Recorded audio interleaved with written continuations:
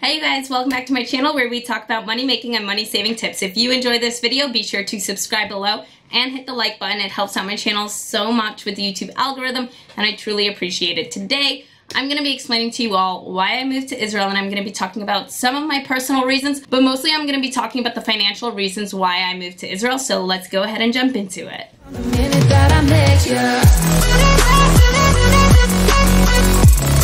Just to talk really quickly about the personal reasons, I do have a fiance who was born in Israel, who lives in Israel, and I moved here to be with him and to have a family and, you know, live a life together here in Israel. So I am engaged and I did kind of move here for a guy, but I also moved here because I love the country. It is a beautiful place. There's so much history. There are beaches, there is desert, there are parks with trees and green foliage. It's just beautiful. You can go stargazing into the desert. You can go surfing at the beach. You could get from like the historical ruins of Jerusalem to like the beaches of Tel Aviv in an in a 45 minute drive on a good day. It's just like a pretty magical place. And then I also just like love the community feel. Like in Israel, you really feel you are a part of a community.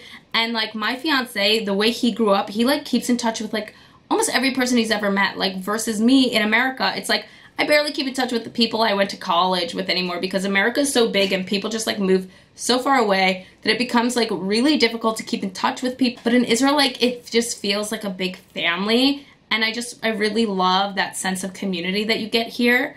Um, and I just think that the quality of life is also better. Like, People care more to engage with one another. It isn't as materialistic here or keeping up with the Joneses here. Those are the personal reasons why I moved to Israel and also the food is really delicious and I just like love the cuisine here. So that as well is a great reason to come to Israel.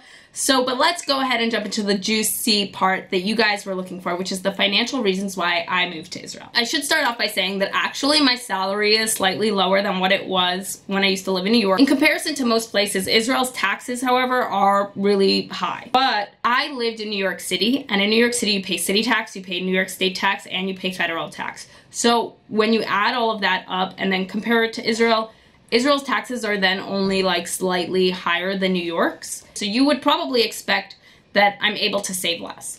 But in fact, I actually end up getting a better situation in Israel because of the following th things that I'm about to explain. First off, one of the benefits that I get when I come to Israel as, a, as an Olah, which is like a new Jewish immigrant to Israel, is that I get a 10-year tax holiday on any foreign earned income. So when I am in Israel, that counts as Israeli earned income. But if I go to America for a month or leave Israel for whatever period of time and I'm earning money from overseas, that counts as foreign earned income. And so I don't have to report that to Israel. However, that is still reportable to the US. But because I am not a resident of any state in the US, I only have to pay the federal tax rate, which is quite, quite lower than the Israeli tax rate would be. So I do save money for the first 10 years that I'm living in Israel on any foreign earned income. Also as a new Olah, I get tax credits for the first couple of years I live in Israel. Additionally, in Israel, even though you pay higher taxes, you get more for your taxes. So I'm actually okay with paying those taxes because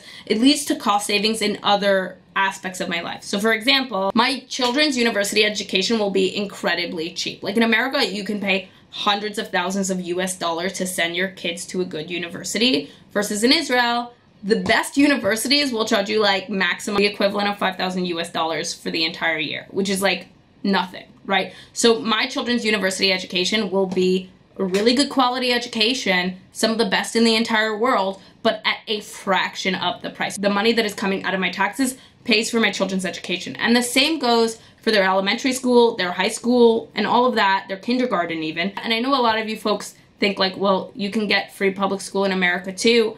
But the truth of the matter is if I was living in New York, the public school system in New York is really not great. And a lot of people try to go, try to like compete for some of the charter schools, which are incredibly competitive for children to get into, or they pay sometimes like $50,000 a year, $60,000 a year to send their kid to like a private high school or a private elementary school, which is just wild the amount of money people are spending on like a nine year old to go to school or like a 14 year old to go to school. It's just crazy. And to do that over like the entire childhood of a child, like you just spend hundreds and hundreds and hundreds of thousands of dollars and it's just it's just wild to think about and the loss on compound interest you would like lose on that kind of money. So i don't have to worry about any of that. I like save on my children's education and now my children can get a really great education and it's just for like a small extra tax and I think the tax is well worth it when compared to what I would have to pay for like the same type of education back in New York City. Additionally, in your first year of living in Israel, I mentioned this on a different video. I'll tag it here for you guys. If you'd like to watch it, you could click above where I talk about the my how much I spend living in Israel in a month. I do get my first year of healthcare for free.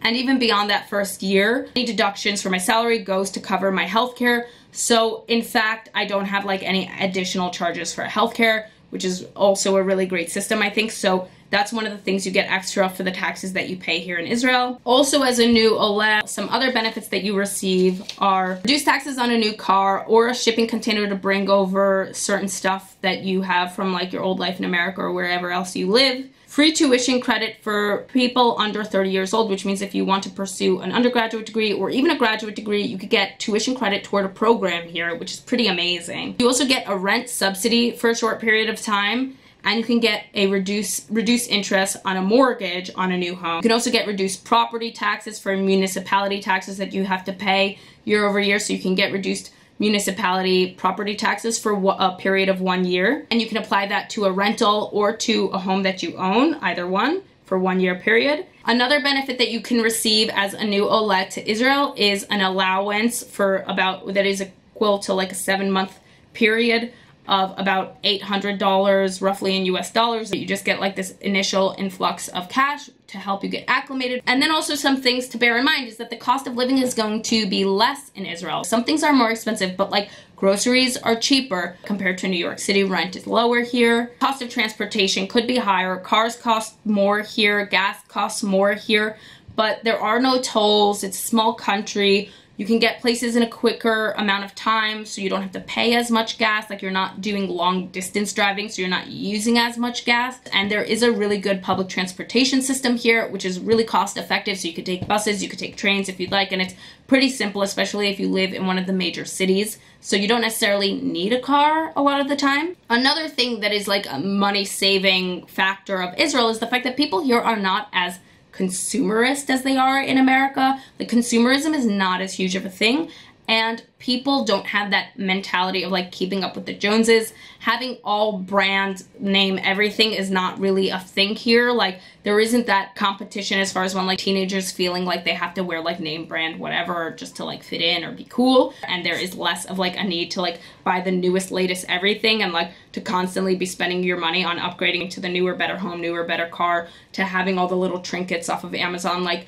that pressure is just alleviated so I end up spending less, which is really good. Over the time that I'm here and like my children's life, their education being free, healthcare being free, and these cost savings that I will realize like when I take out a mortgage on a new home and all these other special things, it makes sense for me to be in Israel because there will be a lot of cost savings over the time here. So those are the reasons that I decided to move to Israel, including my personal reasons and my financial reasons. If you enjoyed this video, please be sure to subscribe below and hit the like button. It helps out my channel so much with the YouTube algorithm. I truly appreciate it. Thank you guys all so much for watching. Catch you in the next one.